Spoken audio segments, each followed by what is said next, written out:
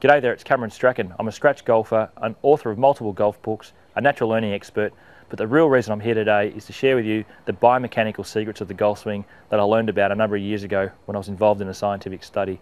And these secrets are absolutely fantastic and can have an immediate effect on your game if you're struggling with a slice, you lack power, or just generally have an inconsistent and horrible golf swing.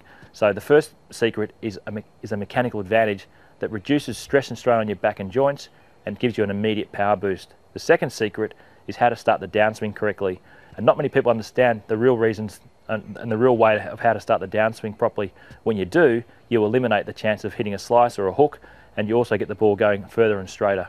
And the last thing, and probably the most popular thing I get asked about all over the world, is how to actually increase power in your swing. And it's not about hitting the ball harder and faster and trying to have big muscles or anything like that. It's a really simple and easy way of hitting the ball further and straighter from the tee with the least amount of effort. It's really good.